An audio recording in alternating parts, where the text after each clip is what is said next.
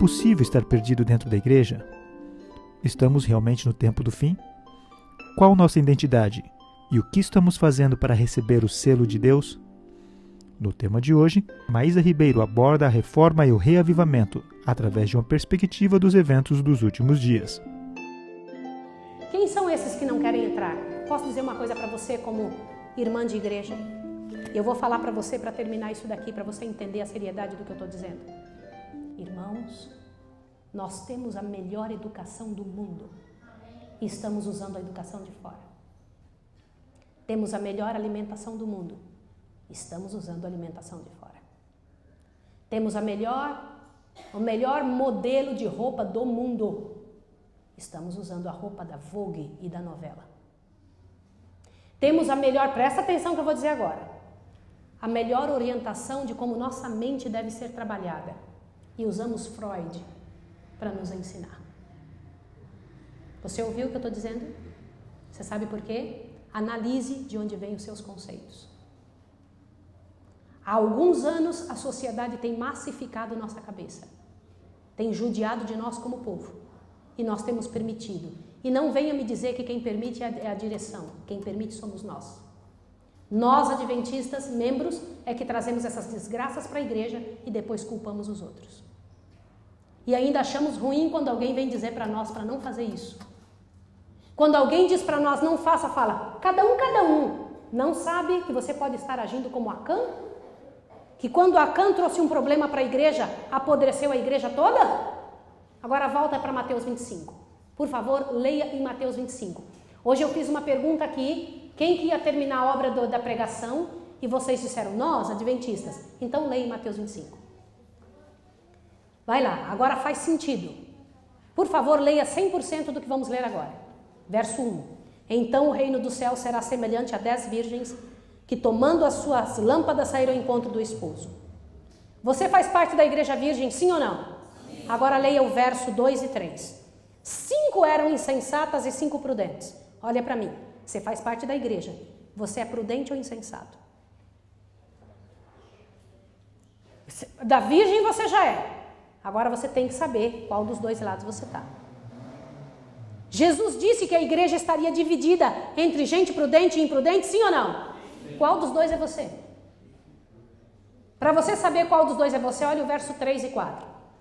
As insensatas, ao tomarem suas lâmpadas, não levaram azeite consigo, mas as prudentes levaram azeite em suas vasilhas com suas lâmpadas. Olha para cá. Quem que é virgem? A igreja. Quem que é o esposo? Quem que é a lâmpada? E o que que é o azeite? Como que você sabe disso? Zacarias 4, verso de 1 a 6 diz que o Espírito Santo, a, a, o azeite é o Espírito Santo. Agora olhe para mim. O que, que é que vai fazer a diferença dentro da igreja adventista, a igreja virgem, entre gente prudente e imprudente? Irmãos, azeite todo mundo tem, Espírito Santo todos têm. Mas o que, que é? Leia de novo o verso 5. Ma, a 4. Mas as prudentes levaram azeite em suas vasilhas com suas lâmpadas. Ó, além da, da lâmpada, tinha uma vasilha de azeite extra. O que, que é isso? Bem rápido eu vou te explicar. Olhe para cá. Irmãos, vocês todos que vieram aqui, 100%, têm Espírito Santo. Quero ouvir um amém. Muito bem. Mas você só vai ter o Espírito Santo extra se você pedir. O Espírito Santo que Deus dá de graça, todo mundo tem, porque foi Ele que deu para você vir aqui. Você não veio aqui porque você é bonzinho. Você não veio aqui porque alguém te chamou para escutar uma pregadora, não foi isso. Foi Jesus, através do Espírito Santo, que disse: Vá, eu quero falar com você.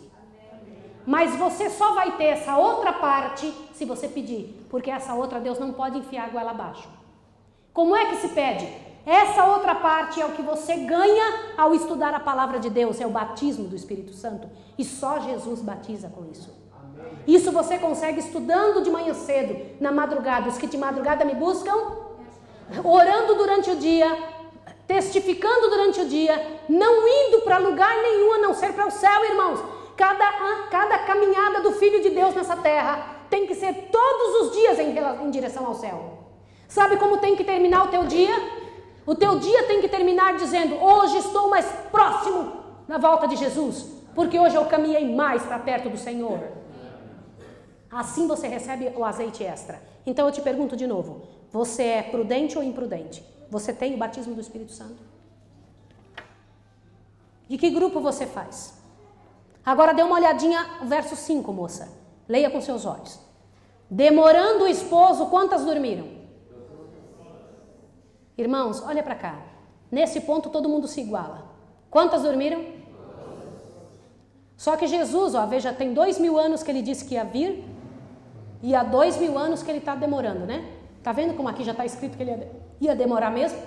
Demorando o esposo, quantas dormiram? Tudo bem. Quantas estavam dormindo? Então lê os seis agora. Mas à meia-noite ouviu-se um grito. Aí vem o esposo, saía ao seu encontro. Irmãos, quantas estavam dormindo? Quem foi que deu o grito aí vem o esposo? Não.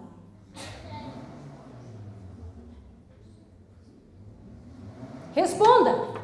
Quantas da igreja vão estar dormindo? Quantos, segundo a parábola, vão estar dormindo? Quem foi que disse? Aí vem o esposo, saiu ao seu encontro.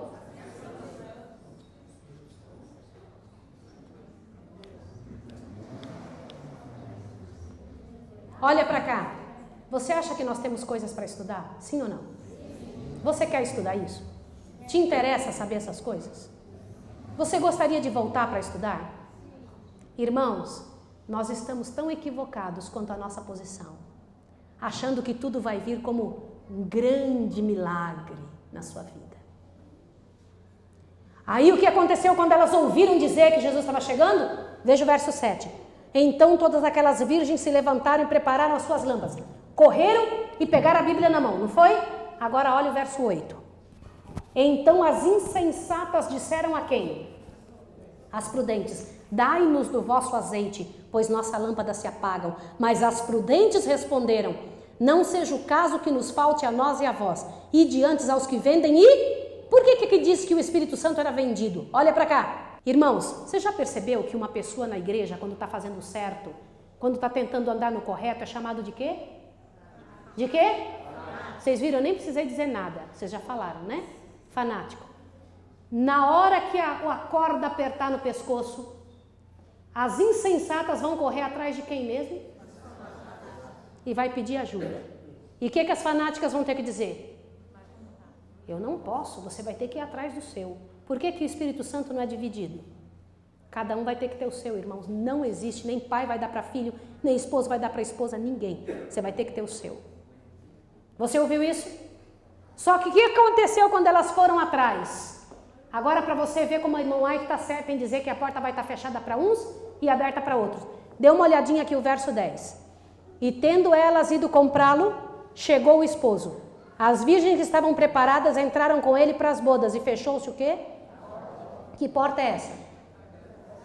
Agora termina. Mas ele respondeu: Olha, verso 11.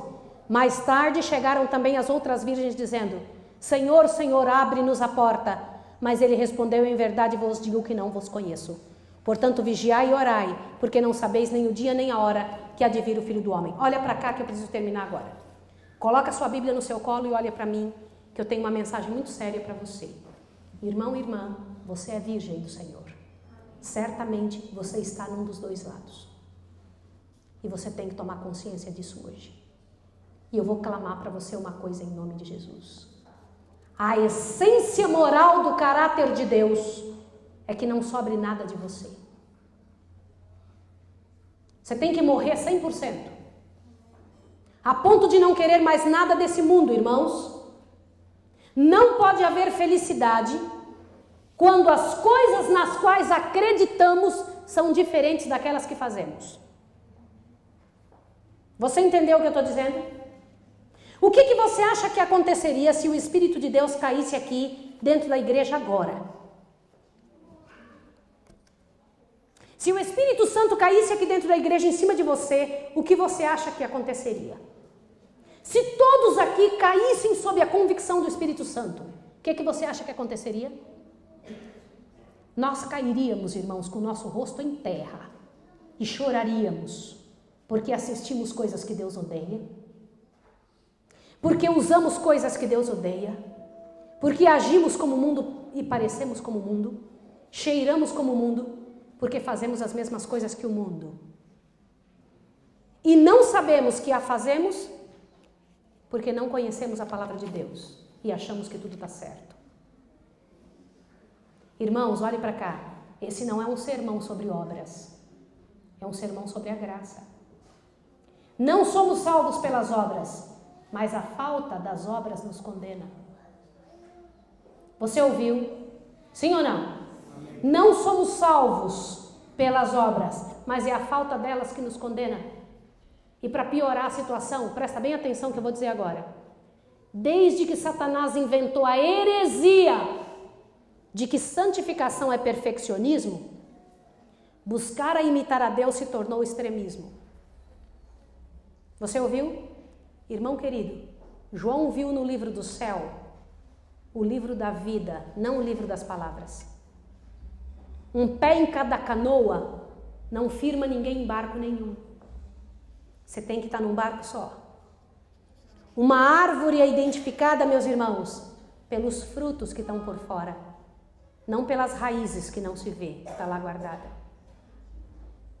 No grande conflito, meus irmãos, do qual você e eu estamos envolvidos, não somos chamados para construir impérios, não somos chamados para sermos aceitos. Fomos chamados para dizer para o universo todo que Deus está certo e que o diabo está errado. E para você dizer que o diabo está errado, você diz isso pelas coisas que você escolhe. Você vai escolher o que na sua vida? Por isso eu perguntei: o que, que é que é a sua profissão? É uma profissão que Deus pode usar para terminar a obra? Ou pode usar essa profissão só para sustentar a sua boca? Você acha que quem te sustenta seu braço? Não é, irmão. O que, que é que o Senhor Deus pode dizer com relação ao tempo que você gasta seu tempo? Onde estão centradas as suas esperanças? Irmão querido, se você não dá a vida pelo que você acredita, você está perdido. E para piorar a situação, em nome de Jesus, vamos saber o que eu vou te dizer. A responsabilidade de Jesus com você e comigo não é saúde. Você ouviu o que eu disse? Jesus não está envolvido com você para te dar saúde. Ele já te deu um monte de orientações para você ser saudável. A orientação de Jesus com você não é dinheiro. Ele já disse que ele é que vai cuidar. E ainda, para piorar, olha o que eu vou dizer. Você está preocupado com o dia de amanhã, com suas contas para pagar? Como é que é que você vai sobreviver? Jesus disse que os ímpios é que se preocupam com isso, não os justos. Ele disse: basta cada dia. E não brigue comigo, foi Jesus que disse. Vai responder para ele, vai reclamar com ele. Portanto, está preocupado: como é que eu vou cuidar dos meus filhos se eu for pregar igual os discípulos? É porque você confia no seu braço, não em Deus. Essa é a verdade. E isso é assim e pronto.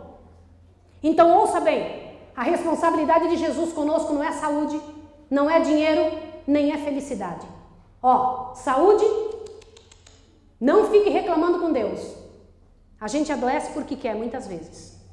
Uma boa parte é a situação de onde vivemos. Por isso Deus mandou você sair da cidade, para não ficar maluco. Não é também dinheiro. Deus falou que vai ele e ele não atrasa as suas contas. Quando as, as contas são de Deus, ele não atrasa. Só para você ter ideia do que eu estou falando, eu estou vivendo há cinco anos pela fé. Eu e meu esposo não temos um centavo de salário.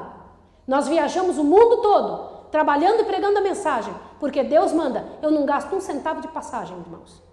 Nada. E em nossa casa nós temos mais gente comendo hoje em qualquer época da minha vida. E meu esposo e eu não temos nem um salário. Meu esposo tinha uma empresa nos Estados Unidos, uma grande empresa, uma empresa boa nos Estados Unidos, vendeu tudo, 100% do que nós temos, e entregou tudo para a obra do Senhor. A mesma coisa fez as pessoas que estão nos filmando. São dois missionários, é um casal de missionários também. Eles trabalhavam em coisas muito importantes nos Estados Unidos. Venderam tudo e trabalharam, entregaram tudo para a obra do Senhor. Eu te pergunto uma coisa em nome de Jesus. Nunca nos faltou um centavo. Eu não preciso perguntar para o Sérgio e para a Roseli se faltou alguma coisa para eles. E eu louvo a Deus porque Deus cuidou de vocês e cuida de nós também. E eu preciso dizer a você uma coisa. Está na hora de você começar a acreditar no teu Deus. Na minha casa hoje come mais gente do que já comeu em toda a vida. Temos uma escola de missionários na nossa casa. As pessoas moram conosco durante um ano sem pagar um centavo, irmãos. Ninguém paga para morar lá conosco. Quem o sustenta? Eu tenho certeza que é Deus, não sou eu nem meu marido. Portanto, eu quero dizer a você, em nome de Jesus Cristo, que é hora de você começar a entender o quê? O compromisso de Jesus com você não é saúde, não é dinheiro, nem é felicidade. Sabe por quê? Você vai sofrer terrivelmente. Eu não posso enganar você dizendo que tudo vai dar certo. Não vai. Vão bater em você, vão brigar com você, vão te odiar, vão te xingar, vão te detestar. Aprenda isso e acabou. Vão te perseguir. O compromisso de Jesus não é saúde, nem dinheiro, nem felicidade. É santidade. Jesus não veio salvar você porque tinha dó de você. Ele veio salvar você porque havia criado você para ser santo. E Deus não vai parar até tornar você santo. Então, se você quiser, é isso que Deus vai querer para a sua vida: santidade. Irmãos, eu vivi num país onde as pessoas são medidas pelo dinheiro. Mas ouça o que eu vou te falar agora. Eu descobri uma coisa mais importante que dinheiro. Eu nunca tive dinheiro, nunca vou ter. Então eu descobri uma coisa mais importante que dinheiro. Sabe o quê?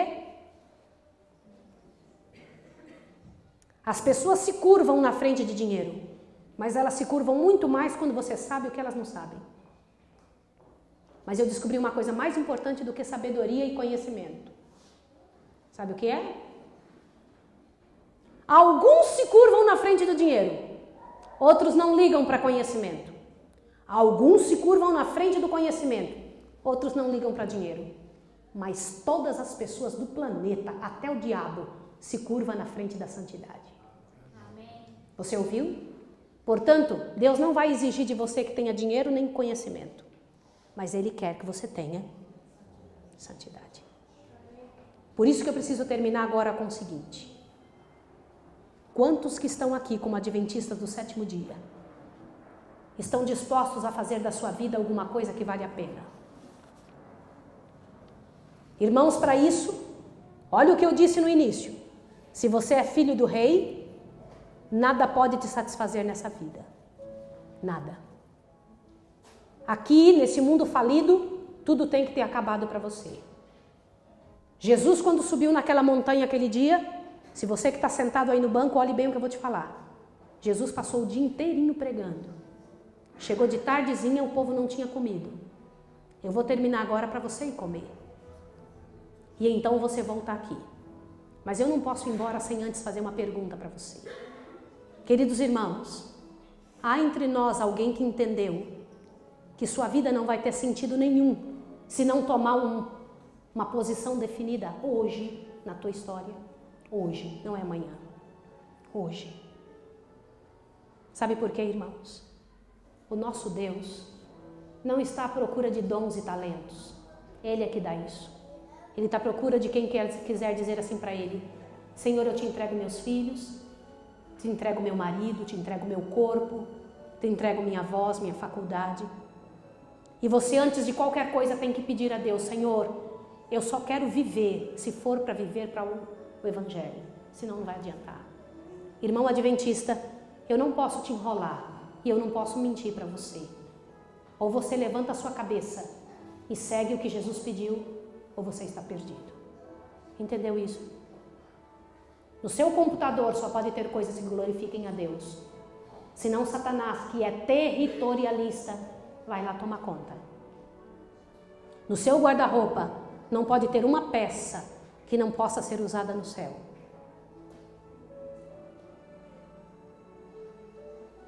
Na sua geladeira tem que ter alimentos que os anjos possam comer junto. Irmãos, na sua linguagem dentro do seu coração, tem que ter o mesmo sentimento que houve em Cristo Jesus, a ponto de dar a vida por aqueles que não mereciam. Tem alguma pessoa que você tem raiva, que você ainda tem problemas? O dia de resolver é hoje. E eu preciso clamar a você nessa manhã em nome de Jesus. Jesus está oferecendo para você e para mim uma mudança de vida como nunca houve. Eu vim aqui para dizer para você, enviada por nosso Senhor Jesus Cristo, que você ouça e se desperte e se levante daí uma nova criatura. Todos os atos que você cometeu eles precisam ser trazidos à luz do Evangelho de Deus e chegar ao trono do Senhor e dizer: Meu Deus, transforma a minha vida, modifica a minha história. Hoje é o momento, agora é o momento.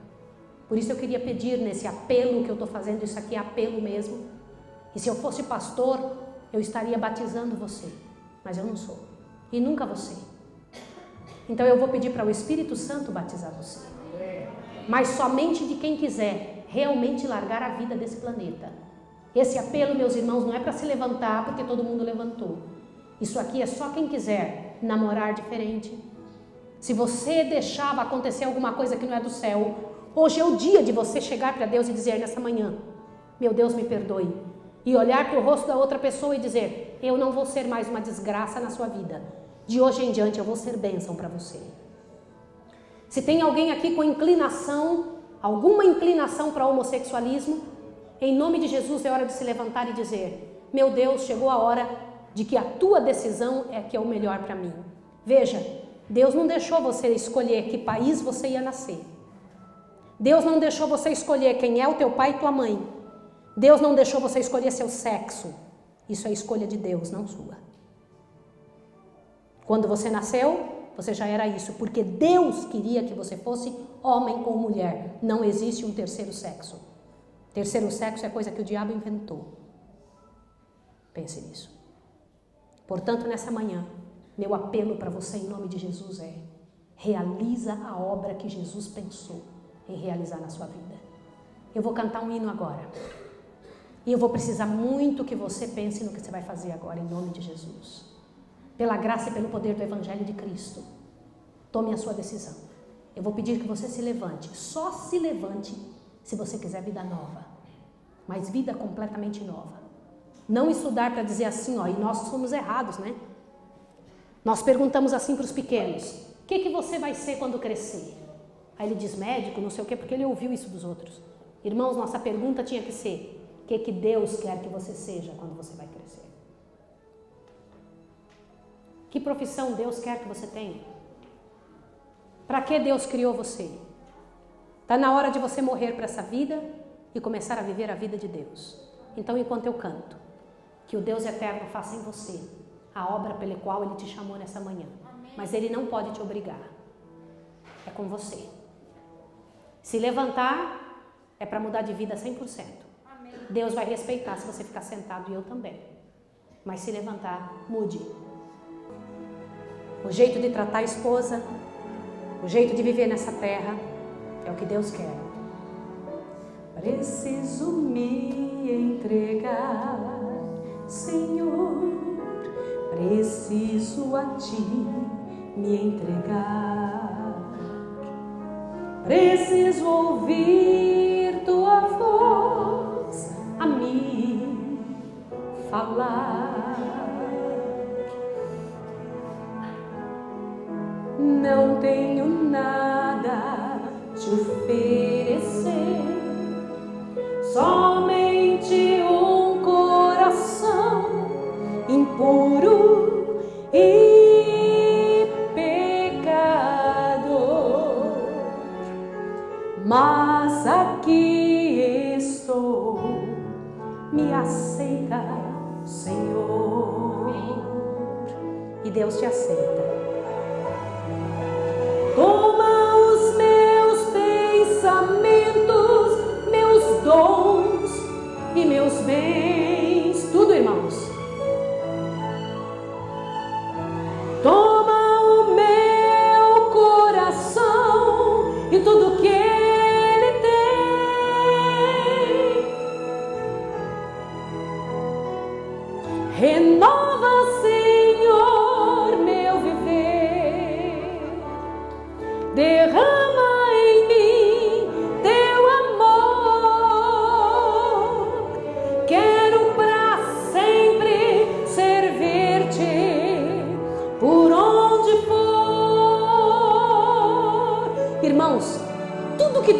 para nós é para sempre. Se morrer é para sempre. Se viver é para sempre também. Entende? Mas a escolha é sua. Preciso